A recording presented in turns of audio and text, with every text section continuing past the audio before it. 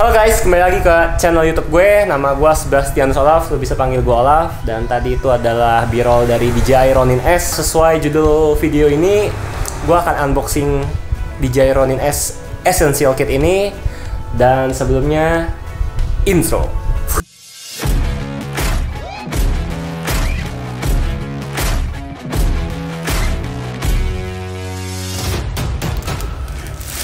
Halo guys, ini hari pertama gue, hari pertama unboxing video. Nah, ini baru datang dan kita lihat aja apa isinya. Itu harusnya udah tahu sih, itu dari title. Oke, itu akan buka.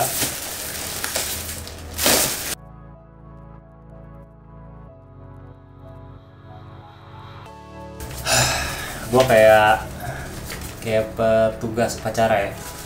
Satu buku manual, ya ini buku manualnya satu. Dua gimbalnya itu sendiri. Kedua, baterai grip. Extended grip. Nah, ini salah satu yang paling beda dibandingkan uh, Ronin S standar. Empat, kamera mounting plate. Ya. Lima, silica gel. Live support. Eh, lens support. Nih lens support. Enam, USB cable. Kamera riser. 2, 3, 4, 5, 6, 7, 8 Gimbal hook and loop strap. Itu kayaknya strap yang udah nempel di gimbal ini ya, Itu 2, 3, 4, 5, 6, 7, 8, 9 nah, Kamera screw. Oke, jadi 1, 2, 3, 4, 5, 6, 7, 8, 9 Ya, habis sisa sedikit gel lagi. Oke, jadi ini gue tes dulu, gue mau pasang-pasangin dulu, gue mau lihat kayak gimana jadinya Ya, kita lihat nanti.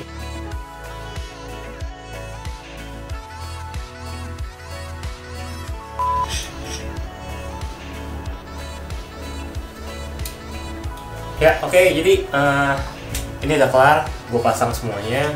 Jadi buat gue ada dua perbedaan yang mungkin harus lu consider kalau lu mau ambil essential kit.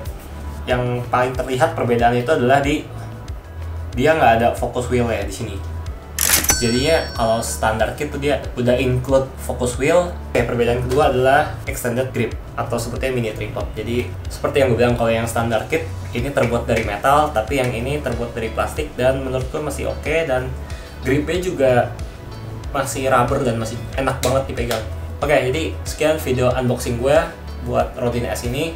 Uh, mungkin gue ke depannya akan nge-review comparison ini dengan Zion Lab punya kakak gue buat kalian yang mau beli Ronin S ini menurut gue sangat recommended banget mungkin salah satu alasannya kenapa DJI keluarin Essential Kit ini buat melawan kompetitornya dan menurut gue ini langkah yang bagus buat DJI dengan memotong aksesoris-aksesoris itu Oke, jadi sekian video unboxing gue. Jadi jangan lupa di like, comment, share, subscribe, dan semacamnya.